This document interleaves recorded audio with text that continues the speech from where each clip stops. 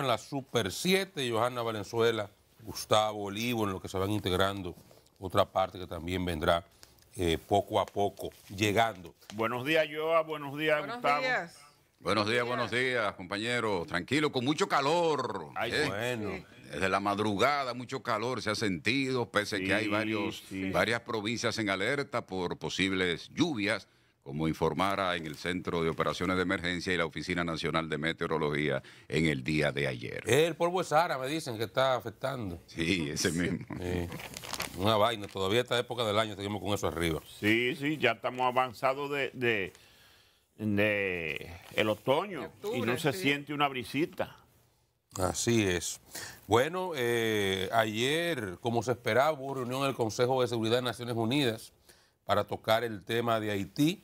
Eh, participó el canciller dominicano, eh, Roberto Álvarez, eh, quien volvió a fijar la posición de nuestro país en el sentido de solicitar a Naciones Unidas una intervención militar, algún tipo de mecanismo que permita pacificar Haití y recuperar el control territorial que está en manos de las bandas.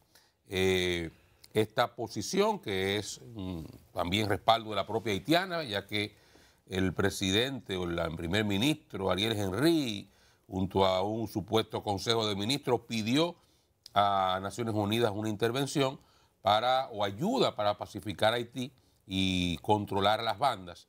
Eh, está siendo conocida desde hace ya varios días. Esta es, creo, la tercera reunión que se da en el Consejo de Seguridad para tratar esta petición.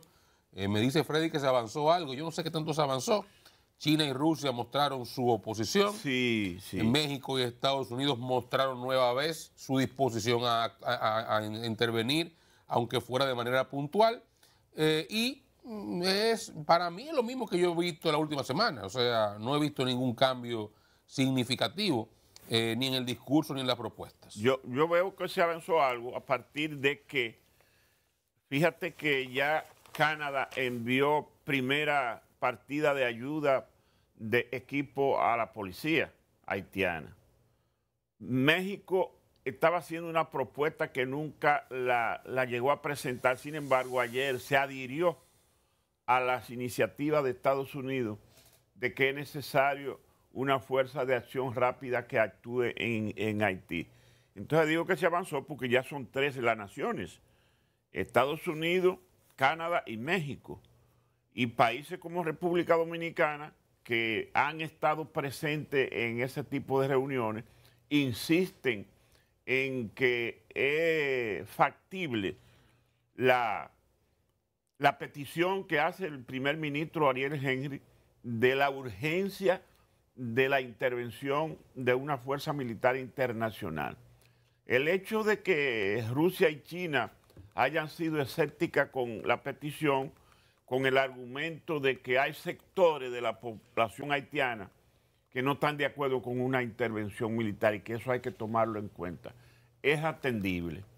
¿Por qué? Porque ciertamente la, petición la firma solo el primer ministro Henry y un alegado consejo de ministros, pero no están los nombres ni se sabe quiénes son. Entonces, en eso China y Rusia, que son muy apegados a lo, al orden internacional y el respeto a la a las naciones de este lado, Ajá. a la de este lado, Ah, Rusia, sí. Rusia respeta a quién. a lo de este lado. Pregúntale Ah, a Ucrania no, al vecino no, lo- no lo respetan. O a Georgia anteriormente. Entonces yo hice, el argumento es, yo diría que atendible. Bueno, tienen que tomar en cuenta que hay sectores que no quieren la intervención y con eso ellos se curan en salud y se quedan fuera. Bueno, mientras tanto, una de las cosas que habló ayer el canciller era la, la dificultad que tendría República Dominicana si se produce una situación de, de crisis humanitaria que pueda, digamos, de alguna forma eh, reflejarse en la frontera. Sí. Eh, ya hay, hay casos. Miren, ayer, por ejemplo, puntualmente, en Carrizal, en el cruce de Carrizal, Ah, sí, sí, sí. en- hubo una obstrucción de, de los haitianos que no dejaron pasar. Una serie de motoristas se congregaron en la puerta de Carrizal, que es la puerta de Elías Piña, e impidieron el paso del comercio que regularmente se da los lunes, tanto de personas que pretendían cruzar con sus mercancías o personas que desde República Dominicana cruzaban con camiones o con mercancías también para comercializar en Haití. Los motoristas bloquearon la vía, fueron enfrentados por la policía, la policía no consiguió nada, más que dispersarlo por unos minutos, volvieron a bloquear la puerta, porque ellos están protestando. ¿Por qué?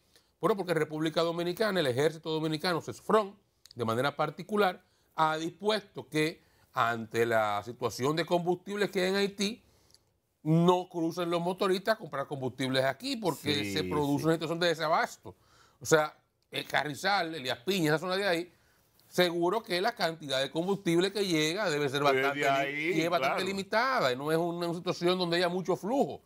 Que hasta posiblemente la logística de los, de los o, de la empresa que tal vez tiene la bomba que, que está ahí, tal vez llevan combustible una vez a la semana, algo así, no sé, por un decir. Sí, sí. Y que, entonces, si usted tiene un consumo adicional, evidentemente, la situación le provoca, le genera problemas en la comunidad. Entonces, para eso han decidido no pueden entrar los motoristas aquí, para que el problema de ustedes no se nos refleje a nosotros. Bueno, y, mira, el argumento de los motoristas haitianos es que ellos viven de llevar pasajeros de Haití a Carrizal. Y entonces, como no pueden pasar, no tienen pasajeros y que, y que le están cobrando los pagareces de los motores y que están vencidos. Es un problema que ellos tienen allá. Sí. Pero fíjense cómo se refleja aquí. Sí. Entonces, una pequeña muestra en uno de los puntos fronterizos menos activos eh, de lo que sucede y, cómo el caos en Haití se puede lamentablemente ir reflejando en nosotros o de este lado de la frontera cada vez con más frecuencia. Es un problema serio al que la comunidad internacional continúa dándole largas. Ya ese problema, Oscar, de desabastecimiento lo vivió la semana pasada. La gente de Dajabón prácticamente se quedaron sin combustibles. Las estaciones, las pocas estaciones de combustible que había en Dajabón el pasado jueves y tuvo inmediatamente que el Estado dominicano mandar eh, de parte de la refinería y de los representantes de las gasolineras un extra, un, ¿cómo se llama? Unos camiones extra para abastecer las estaciones allá en la zona de Dajabón. Y así, bueno. ayer, la novedad en Dajabón fue que una delegación de uniformados militares norteamericanos, mm. acompañado de algunos civiles, eh, visitaron la zona, cruzaron de este lado para ver el movimiento del mercado, preguntaron alguna cosa y mirando cómo era el desenvolvimiento de, este, esta multitud que desde que estaban desde la puerta cerrada, ellos se, detuvieron a ver lo que pasaba ahí. Yo me imagino que se fueron asombrados de ese desorden que, se produce. Bueno, la verdad que es un gran pero, pero, esos militares están ahí como qué, como militares o como turistas. No, no, no. Eh, eh, ellos llegaron, llegaron la semana pasada a Puerto Príncipe en una especie de avanzada de grupo élite de diferentes instituciones a estudiar la, situación de crisis y sobre todo a llevar la primera ayuda humanitaria en medicina para el cólera y alimentos. Eh, o sea que ellos están como en calidad de observadores. Recuerda que hay un, barco de la, del, de la Guardia Costera de Estados Unidos estacionado ahí desde la pasada semana en el Golfo de Puerto Príncipe. Eh, que seguro tiene algo que ver con esa misión militar. Los americanos no, no, no van a terreno sin antes enviar avanzada y cosas de ese tipo. Fíjate que andan desarmados.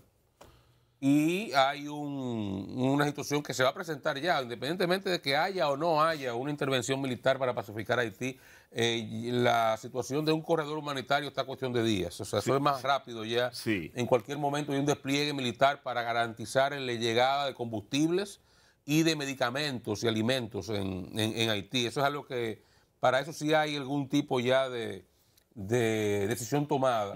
Y hay logística y estructura que se han utilizado en el pasado reciente, incluso en países eh, de África, en Asia, en Euroasia. Ha habido casos ya donde hay disposiciones rápidas que pueden utilizar vías militares para abrir esos corredores humanitarios. Sí, se utilizó recientemente en la frontera colombo-venezolana unos grupos ahí que estaban sin alimento y se hicieron unos corredores efectivos. Sí, sí, eso, eso, eso va a pasar en cualquier momento ya y ese, ese tipo de presencia militar lo, lo, lo pronostica. Miren, otra noticia importante.